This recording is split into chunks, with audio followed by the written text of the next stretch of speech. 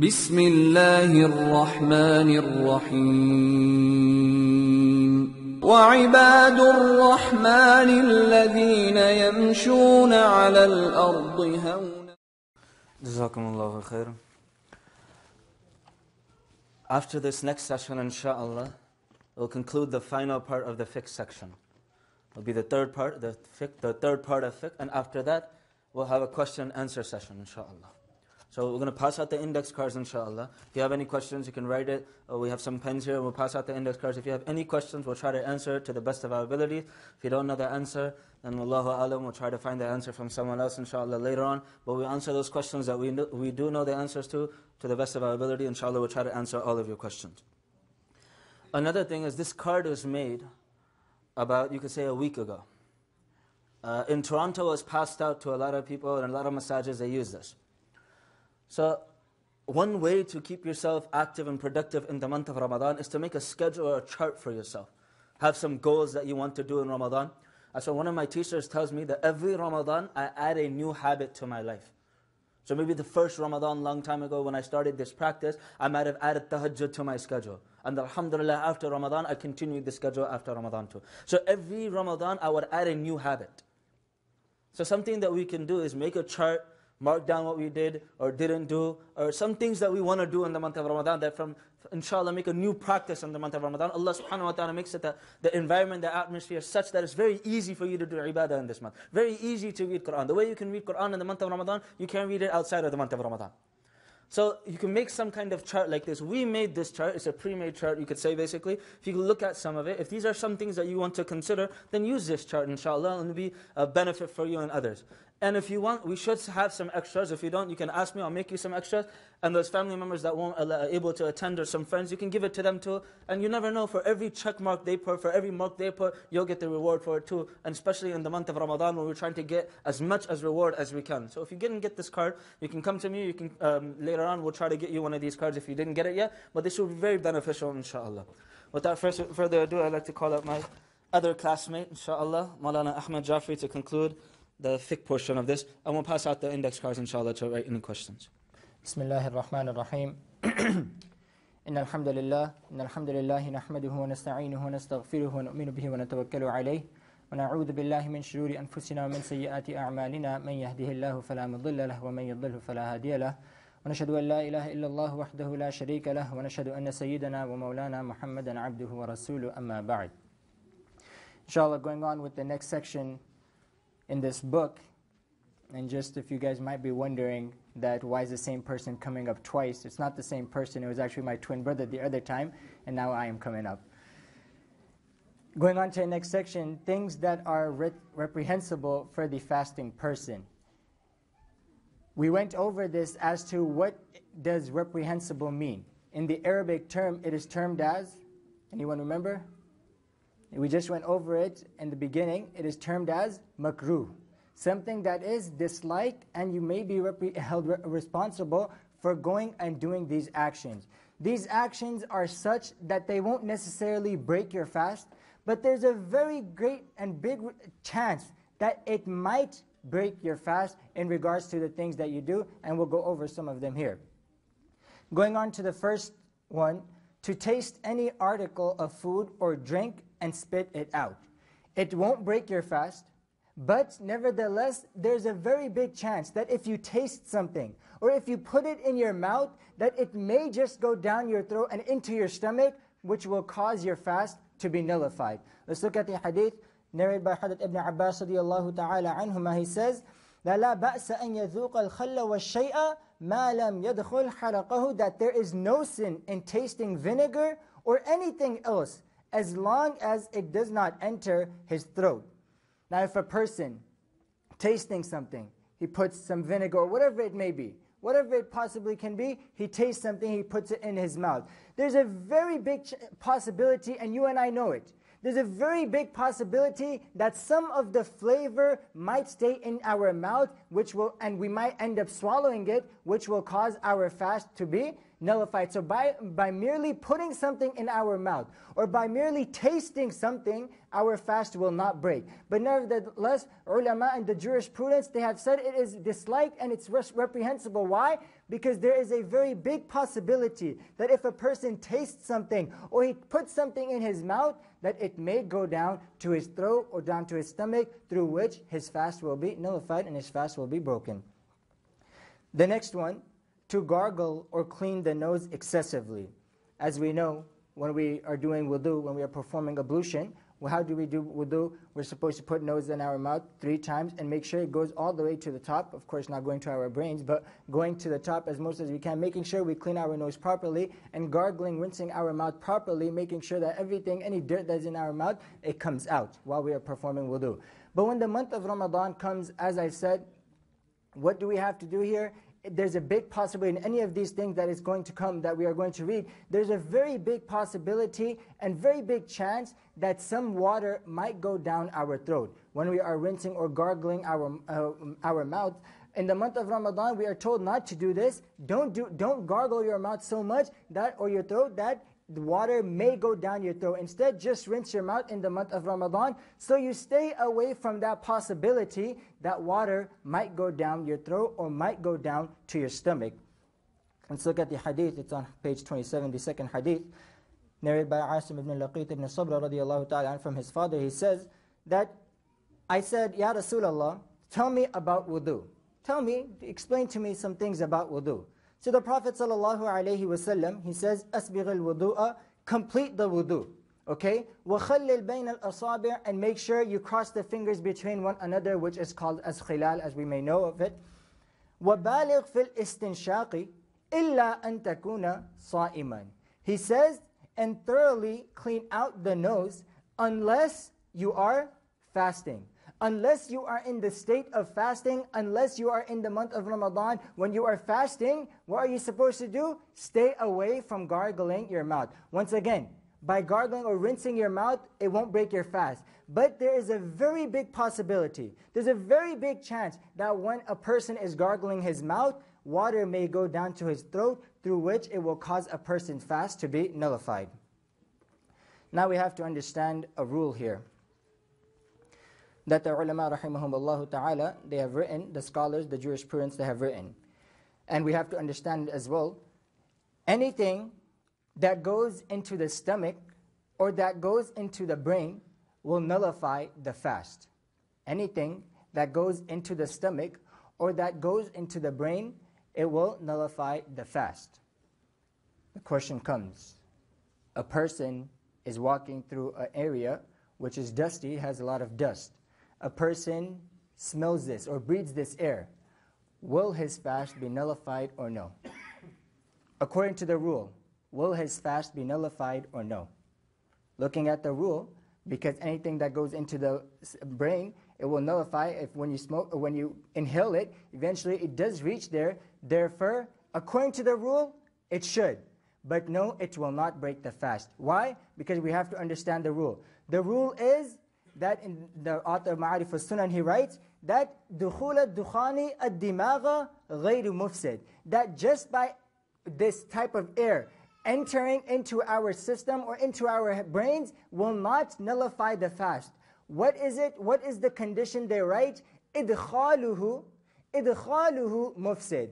To deliberately enter it, to smoke it, to inhale it deliberately, either by any means, through that, it will nullify the fast. And through that, we see where it's a common thing to smoke hookah or to even smoke cigarettes will nullify the fast because of this reason. Why? Because we are deliberately inhaling it into our systems and into our bodies. If there was just smoke and we were walking by and we just inhaled it, that will not merely break the fast, but by us deliberately inhaling it into our systems, by that it will nullify our fast. Now, the second part of the rule, by something entering the stomach. By something entering the stomach, the fast will be nullified. What does this mean? A person, there are many ways a person sometimes through some injections, some might go into the stomach. The ulama rahimahumullah ta'ala, they have differed in regards to this. Some injections, when you, when you are injected, some go to the stomach, some don't. Some ulama say that it does break the fast. Some ulama say that it does not break the fast. The preferred opinion of the ulama rahimahumullah ta'ala, they say that when you are injected, whether it goes to the stomach or whether it's in the system, it goes, it's flowing through your bloodstream. Whatever the case may be, it will not break your fast. The condition for something going into the stomach and nullifying your fast is that it goes down through the normal ways, which is through your mouth, through your throat, and right down into your stomach. Through that procedure, if it goes through those stages into a person's stomach, only then will his fast be nullified. Either than that, in any other way, his fast will not be nullified. Nevertheless, these are things that are some uh, that are reprehensible. They are makruh, they are disliked. If a person can avoid these, then it is best that a person avoid these at all causes because once again, there is a slight chance that that injection or whatever it may be, it may go into the stomach which will cause the fast to be nullified. So through that general rule, we can't say it will nullify it, but because there is a possibility that it may go down into the stomach, and wallahu alam, what it may be, what it may cause, it may or may not nullify the fast. Through that, the ulama rahimahumullah say that these are things that are reprehensible. If a person can avoid them through uh, till after Ramadan or get it done before Ramadan, then it is better to do so. But if he definitely needs to do it in the month of Ramadan while fasting, then it is also permissible.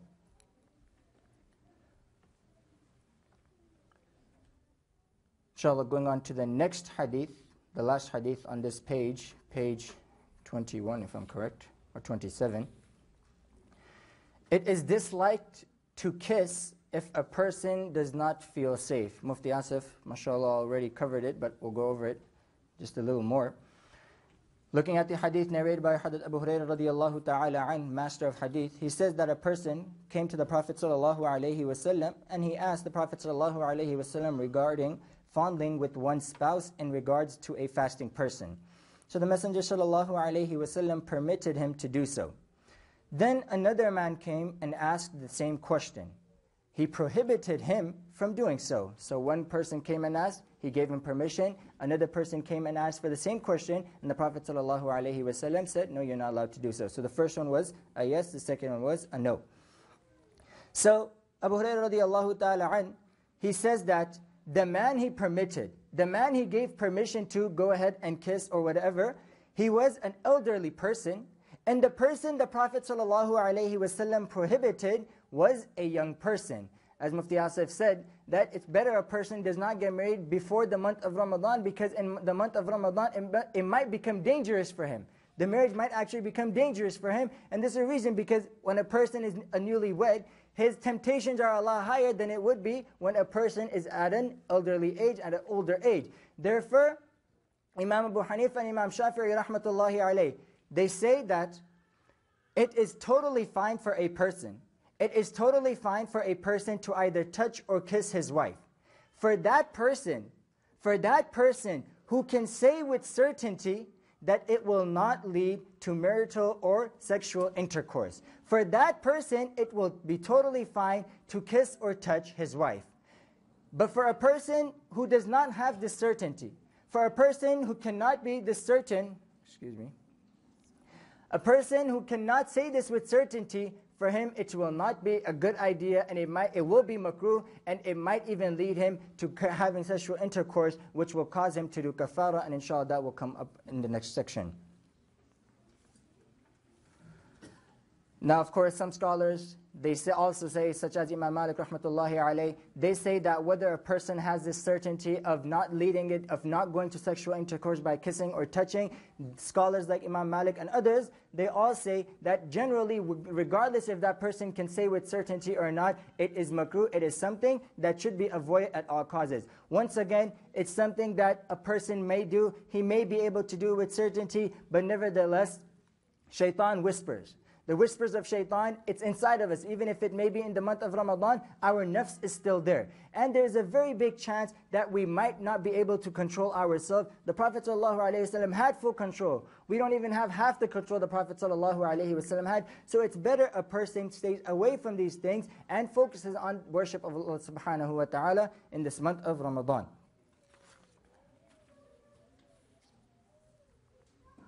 Inshallah, going on to the next section, section or page 28.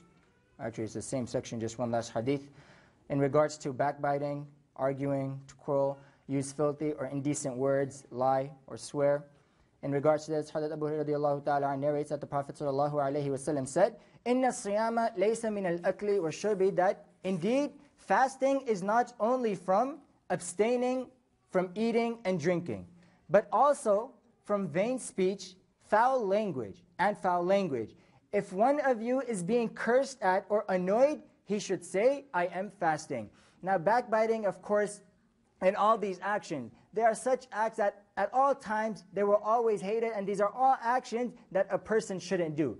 And there are such actions that some scholars, a, mi a minority of them, they have actually said that the fast will break. But majority and the preferred opinion is that a person's fast will not break. Nevertheless, Nevertheless, the reward that this person was supposed to get for that day, for fasting on that day, he will be deprived of this, of this reward. Why? Because in the time of fasting, a person should have full consciousness of Allah subhanahu wa ta'ala, that he is obeying Allah subhanahu wa ta'ala and he is worshipping Allah subhanahu wa ta'ala. So even at this time, if a person can do such deeds, then he, then he is not worthy in the eyes of Allah subhanahu wa ta'ala to get the reward for fasting that day. And some scholars say that a person should actually even make up that fast on a different day after the month of Ramadan. Why? To show Allah subhanahu wa ta'ala of his repentance and sincerity of his action. Inshallah, going on to the next section, things that break the fast. Now, the last section that we just covered were things that things that are reprehensible, things that are they may or may not break the fast, and it's preferred that you stay away from those actions. But these actions are such that they will break the fast if a person does any of these actions. The general principle we need to understand is narrated by Ibn Abbas and Akram, Ikram radiallahu ta'ala an. They say that الصوم مما دخل الصوم مما دخل وليس مما خرج that fasting will break due to what enters the body and not due to what exits the body. Meaning, if a person starts bleeding, his fast will not break. A person vomits involuntarily, his fast will not break. And I'm saying involuntarily because of the commentary that we'll go ahead, we'll go over it in the next hadith, inshallah. So the general rule is a person's fast will not break by that which comes out of the body, but his fast will break by that which enters the body, and we've covered quite a bit of it already. So, let's go on to the first one. If one deliberately made himself vomit a mouthful, if one deliberately made himself vomit a mouthful, those are two conditions. Number one, deliberately, he actually made himself intentionally, and number two is making himself vomit a mouthful. There are only two cases. Only two cases in which vomiting will actually break your fast. Only two cases. Other than that, any other case you can possibly bring up, it will not break your fast. Only two that will actually break your fast. Number one, a person who vomits a mouthful. A person who vomits a mouthful and swallows it. A person who vomits a mouthful and swallows it, his fast will obviously break. Number two, a person who makes himself vomit a mouthful, which is in this hadith. So a person who makes himself vomit a mouthful, then his fast will, will break, and of course he will have to do kafara. And what is kafara? What's expiation? We'll go over that in the next part, inshallah. And of course, going on with the hadith, مَنْ ذَرَعَهُ الْقَيْء وَهُوَ صَائِمٌ فَلَيْسَ عَلَيْهِ الْقَضَاء وَمَنْ اسْتَنْقَى فَلْيَقْضِي that whoever has involuntarily vomited while fasting does not need to make up the fast. But if someone deliberately vomits, then he needs to make up that fast. And the next hadith, same thing. عن أبي هريرة رضي الله تعالى أن النبي صلى الله عليه وسلم قال that whoever has involuntarily vomited while fasting does not need to make up the fast. If someone deliver, deliberately vomits, then he needs to make up the fast. Now, next, something else that will break a person's fast or excuse me, I said there will be kafara. There will not be kafara, it will be qada actually. And we'll go on to what's qada and kafara. There's a difference. Qada is actually just making up that one day. Kafara is actually having to fast for two months consecutive. And if a person isn't able to do that, then he has to do other things that the Prophet ﷺ has mentioned. And we will go over that as well. So if, next thing is, if a person mistakes the time for suhoor or sunset, meaning and eats after suhoor time ends or before iftar time starts, then he must make up the fast. However, there is no expiation, meaning kafara due on him. Meaning, Let's just give an example. Fajr time comes in right now. Nowadays it comes around 4.30. Say a person is eating all the way till 4.40. If a person thinks suhoor time ends at 4.40 and he's eating all the way up till there, then on this person, unintentionally, he did not know, he thought the time of suhoor ended at the time of 4.40 and he was eating up till that day, he will not have to do kafara, but he will have to make up that day, the fast of that day. Same thing at the time of iftar. Say the mu'adhin accidentally gives the adhan two minutes earlier before the time. Regardless if it's two minutes, one minute, or 30 seconds. If the mu'adhin gave the adhan before the time and the people started eating, then they will have to make up that day, but they will only have to make up that one day. They will not have to do kafara, and kafara is obviously a lot more. Qada is just fasting that one day again and after the month of Ramadan. And in this, there's a story of one sahabi that was mentioned in the beginning in, in regards to the Quran ayah حتى كلوا واشربوا حتى يتبين لكم الخيط الأبيض من الخيط الأسود من الفجر that a sahabi he took the literal meaning of the Quran ayah that said that keep eating until the white thread distinguished itself from the uh, white thread. The black thread did it from it from the white thread. And of course, the ulama rahimahullah they have written a lot on this. And the meaning was when the light of the day, when the light of the day came in, at that point stop eating, and that that is what it was referring to. And of course, the uh, hadith was mentioned before. The point of it is, the point of this part is just to let us know that if a person accidentally confuses himself and thinks of the time of suhoor to be later than it actually is, and he still is eating until that time, meaning the time of suhoor ends at 4.30 and he eats till 4.40. Then at that point, a person only has to do qada and no kafara will be upon him. Same thing with the time of iftar. If a person breaks his fast earlier than he was, he was supposed to, then only he will, he will only have to do qada and he will not have to do kafara. Now the next or anything put by force into the mouth of a fasting person. If someone holds a gun to your head and says you better eat or else I'm going to kill you, then go ahead and eat. Don't don't break it, don't give up your life for just one fast. Of course, the fast is great in the eyes of Allah Subhanahu wa Taala, but your life is more important. If a person, if you just ever happen to come in this scenario where you have to eat. You absolutely have to eat. The person is forcing you to eat. No matter what you do, you have to eat now. Then go ahead and eat. It's okay. Of course, after that, you have to do qada. Of course, this is when you are being forced. Not just, my, my, my stomach is forcing me. No, that does not count. It doesn't matter what your stomach is saying. If, if it's a life or death situation, then go ahead and eat. You won't have to do kafara, but nevertheless, you will have to do qada. You will have to make that day up. Let's go over the hadith from the Prophet ﷺ, he says, رُفِعَ عَنْ أُمَّتِي الْخَطَأُ وَالنِّسْيَانِ My ummah is not held responsible or accountable for actions that are done out of mistake or forgetfulness and that are committed through force, meaning a person forces you to eat in the month of Ramadan, then go ahead and eat, but of course after that, make it up, for make that one day up. The next one, to eat and drink, forgetting that one is fasting, and thereafter thinking that the fast is broken, so to eat again and drink. Mufti Asif went through this a little. A person, he is walking wherever he may be at his workplace. He has a habit that whenever he's walking by the water fountain, he goes and takes a drink of a, a drink. Usually, you know, people like you and I, whenever we go by the fridge, we have this temptation. The fridge is calling us and we need to get something from the fridge. Even though we may not be hungry, we just need to make sure we get something from the fridge. So just like that, so I think the power is dead.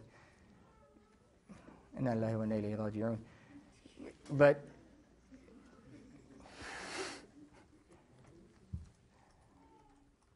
I think, I think it's, it's his time.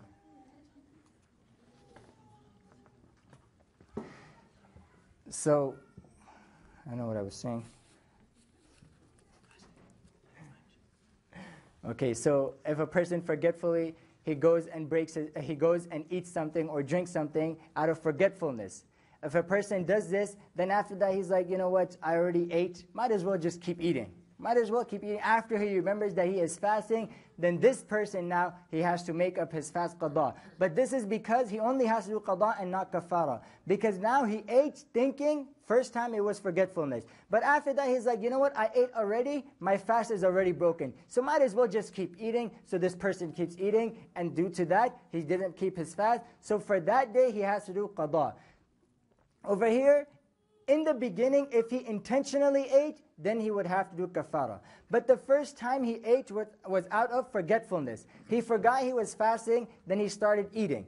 After he started eating, then he remembered he was fasting, and he's like, I already started eating, I can't leave my food. So he started finishing, he finished his food. At that point, a person, out of forgetfulness the first time, then thinking that he broke his fast and keeps eating, he will only have to do qada, and he won't have to do kafara. Inshallah, we'll just wait. Jazakallah. Uh, He's back to life.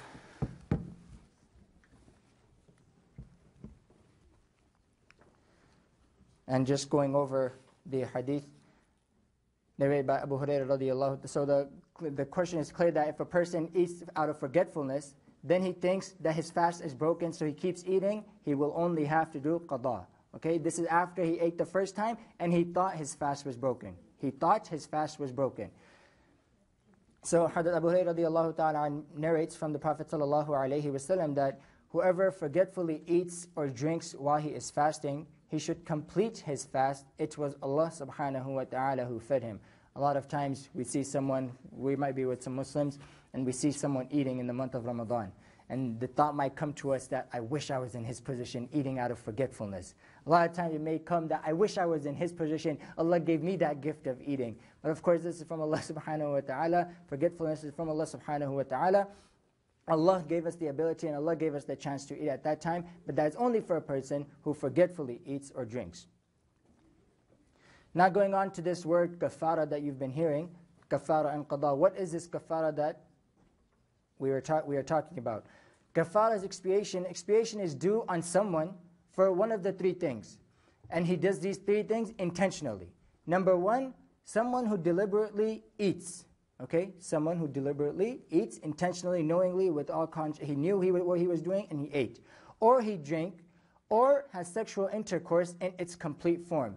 Meaning that it was actual sexual intercourse and it was just it was not just ejaculation, it was actually sexual intercourse from both parties. Therefore, a kafara will be upon this person. He will have to do kafara. Looking at the hadith, Hadith Amr ibn Sa'ad radiallahu ta'ala reports that his father said, A man came to the Messenger of Allah sallallahu alayhi wasallam and said, I deliberately, meaning I intentionally broke a fast in the month of Ramadan. The Messenger of Allah sallallahu alayhi wasallam gave him three options. Number one, free a slave, which is not practical in our time. Number two, which the last two apply to us, fast for two consecutive months. Not 20, 30 days and then sometime in our, uh, at some other time in our life we fast another 30 days. No. Two consecutive months back to back, a person has to fast. And last but not least, if a person cannot do that due to any illness or whatever, feed 60 needy people. And the commentary of this, it will be, in, it's on the bottom. Method of offering kafara. Now, the first one they didn't even mention as to freeing a slave because it's not practical in our time. We don't know of any slaves, or at least I don't know any. Method of offering kafara number one, fasting two consecutive months, which is 60 days. If one is physically unable to fast for 60 consecutive days, then he may feed the poor in any of the following manners. Number one, feed 60 needy individuals to their full for two meals. Okay, you are doing it to 60 different people and you are giving them two different meals. Or the second option is feed one needy individual two meals for 60 days, which is pretty much the same thing. Or number three, give 60 needy individuals or give one poor person for 60 days three and a half pounds of wheat, which is approximately 1.6 kilogram, or its value in cash or food grains. So these are the two options really and the second one has three different ways you can give it. Kafara, of course, if one deliberately eats, drinks, or has sexual intercourse in its complete form. And I mentioned what the complete form is. And what, I, what, what does the person have to do if he does one of these things? He has to feed, fast, firstly, for two consecutive months. If a person, for some reason, is unable to do this, then a person has the option of feeding the needy and the, and the whatever it is, it's on here. If anyone needs to refer to it, they can, they can always go to that. Next, fidya is redemption, which is if a person from the beginning, say the month of Ramadan comes, and a person is unable to fast. He doesn't break his fast. He just can't fast. Whatever illness, whatever it may be, he is traveling or whatever, uh, due to illness, and he can't ever, ever fast after that. Remember to give fidya. If a person needs to give fidya, the condition is that he cannot fast right now, and there is no hope of this person ever being able to fast ever again. Let's look at it and we'll understand better. In the Quran, Allah subhanahu wa ta'ala says, وعلى الذين يطيقونه فدية طعام مسكين I don't know how long ago I got this 10 minutes card, but inshallah I'll try to wrap it up. وعلى الذين يطيقونه فدية طعام مسكين For those familiar with the Arabic language, they know that there, even though there is no negating letter in this, no negating particle in this ayah, they know that the word yutiquna, the fi'l, it has it encompassed in it, the negating meaning. Those who do not have the strength to fast must give a monetary compensation, which is meaning feeding one needy person per fast. Ibn Abbas ta'ala he is just mentioning that this verse has not been abrogated maybe at that time, but it is now. It refer, the meaning of it is still there, but it is not in the Quran. It refers to an elderly man, an elderly woman who cannot fast. They will feed one needy person in lieu of each fast, and this is narrated in Bukhari.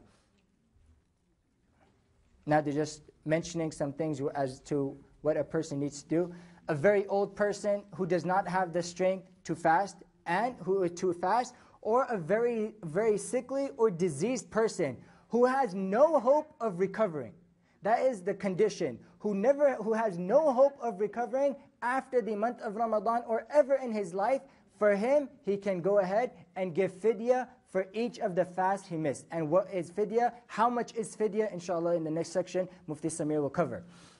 So if a person has this condition, remember, never in his life in the future, he has absolutely no hope of ever recovering or gaining strength, then for this person, he can give fidya. Nevertheless, look at the next part. If, however, the old or sick person gains strength or recovers after Ramadan, he must keep the missed number of fasts and whatever was given as fidya. Maybe he didn't fast for two years, 60 days. Now he gave 60 needy people to eat. After that, so Allah subhanahu wa ta'ala gives him shifa and he gets this ability and strength to fast. Now what happens to the 60 feedy people, the 60 fidyas that he already gave? What happens to that? Inshallah, we are going to hope that Allah subhanahu wa ta'ala rewards him for that. But now because he has the capability of fasting again, he must fast for all those. He must do qada for all those fasts that he missed. Now, a question might come, say someone's parents or someone's relatives or anyone passed away and they had some fast obligatory upon them that they did not fulfill. Can I fast on behalf of that person? The answer is no. A person cannot fast on behalf of another person. Neither can a person pray on behalf of another person. Nevertheless, I could fast and give the reward of my fast to someone else. That is completely fine. I can pray and give the reward of my prayer to someone else, but I cannot fast as his, I cannot fulfill his responsibility. Salah is further upon this person. For him, he doesn't want to wake up for Fajr one day. He says, yo, can you wait for me? It doesn't work like that. You have to do your own responsibility. Nevertheless, the reward you can be given by the other person. Hazrat Abdullah, looking at the hadith on page, I don't know what page this is, page 31. Hazrat Abdullah ibn, Hazrat Abdullah ibn Umar radiallahu ta'ala an, he, was, he used to be asked that, may one offer, may one fast or offer salah on behalf of another?